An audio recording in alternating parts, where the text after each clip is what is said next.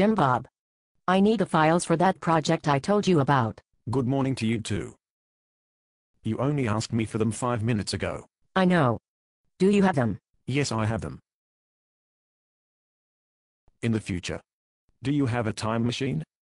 No, I don't have a time machine. Do you have the files? Yes. In the future. I need them now? Where are they? Right here. But you need a time machine.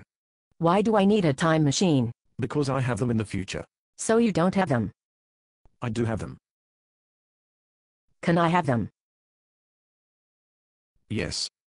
In the future. But I need the files now. So you need a time machine. I don't have a time machine. Don't you? No, Why not? because I don't. You need one. I don't have one? Do you have the files or not? Yes, I do. Right here. Where? Here. Where? Here. I don't see them. Well, you can't see them. Unless you can see the future. Focus. Look. I need those files now. Why don't you just give me them? Because I don't have the machine. What machine? The time machine? Why do you need a time machine? To go forward in time.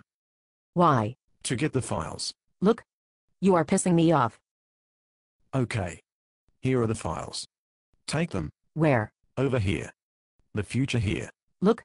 I need them now? You don't have them. Do you? I do have them. But not in the present. You're making me angry.